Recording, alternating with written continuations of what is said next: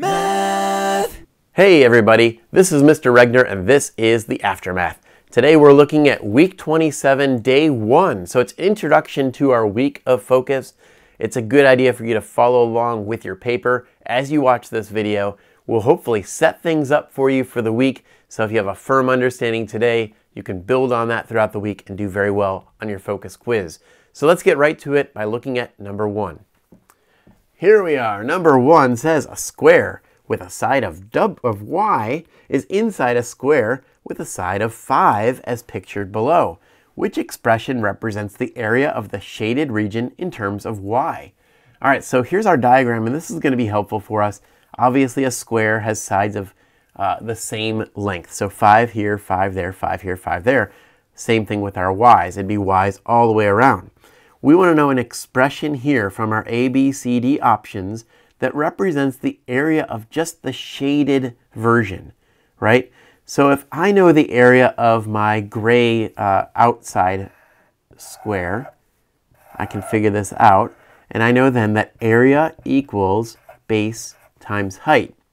Now, oddly enough, the base and the height are the same for a square. So if my base and height are both 5, that's 5 times 5, the area of what I outlined there is going to be 25 square units. Okay? And then the area of this inside line, which maybe I'm going to make this like a double thickness line to maybe make it stand out as being something different. Again, I use the same area formula. That's y times y. So the area here would be y squared right? y times y is y squared. The area of this big thing here is 25 square units. So I really have 25 square units, but I don't want this white part in the middle. I just want the gray part. So think about that for a moment. If I know this whole thing is 25, but I want to cut out that middle part with some scissors, get in there and just go, what would the area be? Let's look at my options. I have 25, I like where I'm headed here. 25 plus y squared.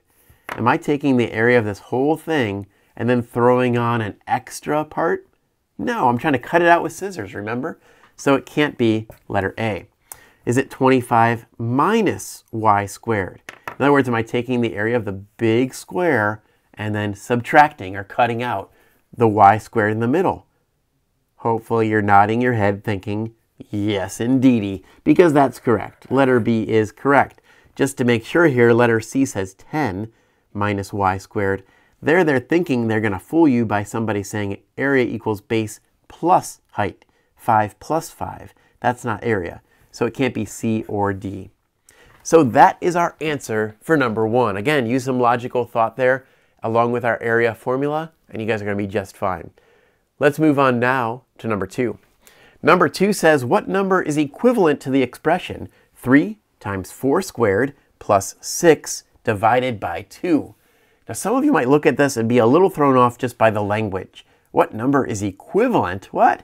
In other words, they're saying, what does this expression equal? So here's our expression.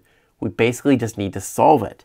All right, so if I have 3 times 4 squared plus 6 divided by 2, I'm just going to rewrite that whole thing on my paper that way I can use my old pal PEMDAS because that's what we're going to be using here.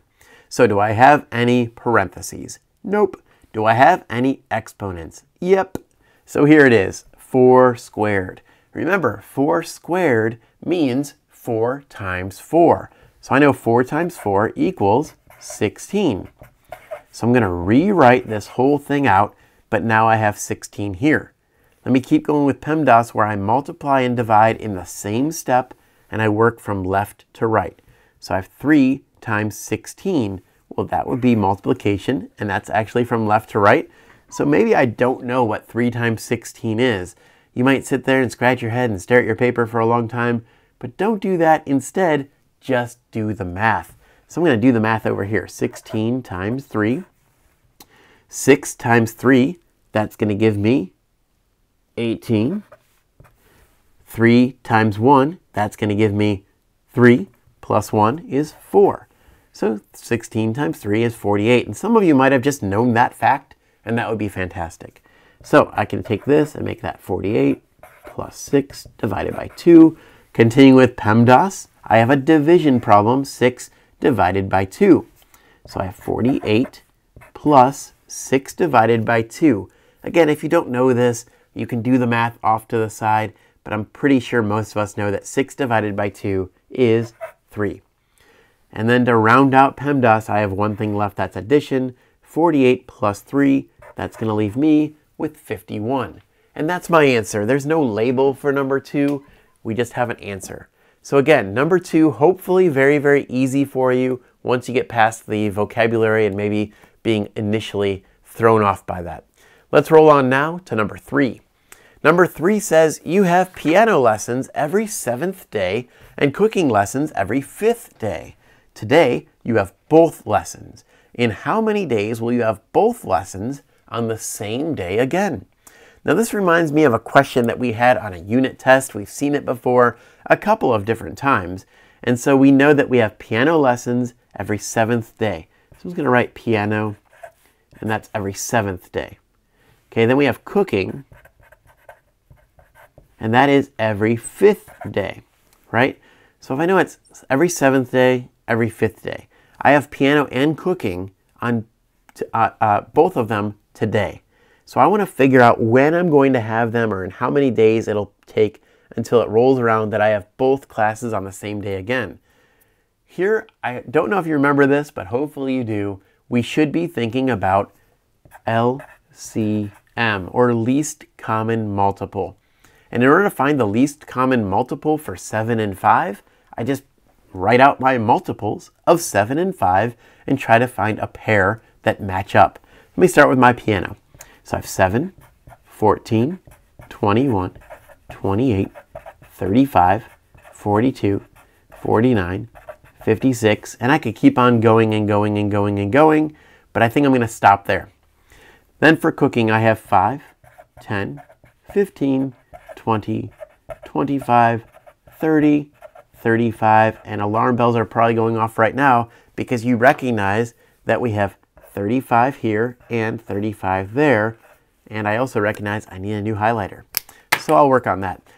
So 35 is going to be my least common multiple. Just doubling, double checking here. Are there any other numbers that are smaller that might be even lower than that? No. So 35 is my, my least common multiple. So what does that really mean then? It means that uh, in 35 days, I'm going to have both piano and cooking again, right? So if I have it in 7 days, 14 days, 21 days, 28 days, 35 days, I'll have piano. For cooking, same thing. They match up again in 35 days. All right, so that one again, if we know LCM, if we know how to find the least common multiple, that's all we're doing. Let's move on now to number four. Number four says an outdoor adventure company offers horseback riding. The total cost, C, for H hours of horseback riding is represented by the following equation. C equals 12H plus 26. Which statements below are true? So for this one, we want to make sure we totally understand what's going on here before we move on over here and figure out exactly uh, which one could be right. So they give us this equation. We know C is the cost, right? Because it says total cost is C. And we know H is going to be the hours, okay? So it says here for letter A, the cost for one hour of horseback riding is $38. Boy, I don't know that, but guess what I can do? If I know one hour, I can plug that in here where I see H. So let me do that really quickly, and you're going to find that I'm going to have uh, maybe a lot of extra math work here. So I know then the cost I'm looking for is $38, right? Cost. And I know the hours is going to be 1. So I could take 12 times 1 plus 26. Well, order of operations again, right? 12 times 1 is 12 plus 26. And then 26 plus 12, that's going to give me 38. Is 38 equal to 38? Yes. So A is correct. Let me do the same thing here. It says the cost for two hours is $76. Well, again, maybe I could just plug this in again. So let me do it. Okay, so $76 equals 12 times 2 plus 26. Order of operations, 12 times 2 is 24. 24 plus 26. Let me think about this for a minute. I got a little bit tricked there because I wanted to say it was true and I wanted to say that was 76, but 76 does not equal 50. So B is not right. Letter C, it says the cost for, there we go, the cost for five hours is 86. Let me think, 86 equals 12 times 5 plus 26.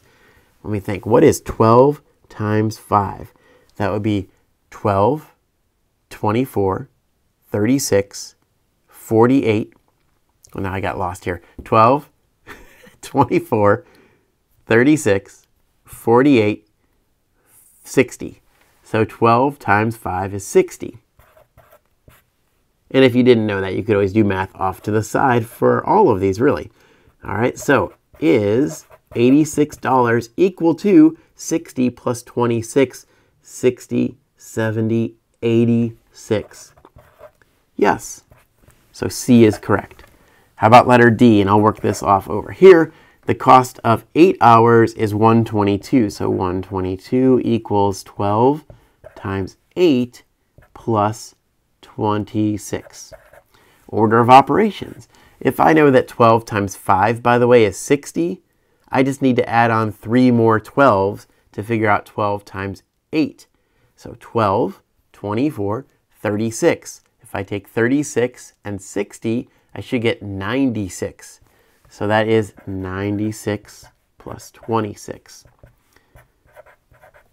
So 96 plus 26, well 6 plus 6 is 12. 9 plus 2 is 11, plus 1 is 12.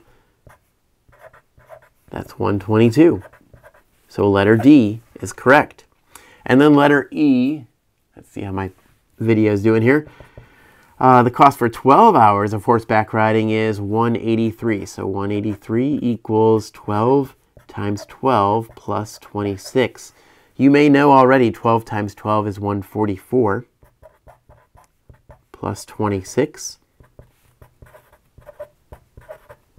I kind of, I'm, I'm rooting for this one here, but I'm not sure it's going to happen. So 4 plus 6, that's 10. 4 plus 2 is 6, plus 1 is 7. So this becomes 170. So sadly, E is not correct either. So my answers here are A, C, and D. So on number 4, uh, we've had a couple tough ones for number 4 for the last couple of weeks, but hopefully today you see this one's pretty easy. All we do is we use that, that uh, equation they give us, plug in the numbers for our cost and our total number of hours, then just use PEMDAS to solve. That's our focus for this week. Make sure that you're paying attention uh, and writing down your notes for day one. Then day two will be much easier. You'll know what you're doing. You just practice those skills. By day three, you are rolling and quiz time comes around and you're all set for a perfect 10 out of 10 on focus. I'm Mr. Regner. This has been The After Math. Have a great day and thanks for watching. Math, aftermath, it's the aftermath. Aftermath, it's the aftermath. Math class is fun, but when it's done, stay in the zone. On your own, it's math review, made just for you. Take a video wherever you go. Aftermath, it's the aftermath. Aftermath, it's the aftermath. Oh yeah.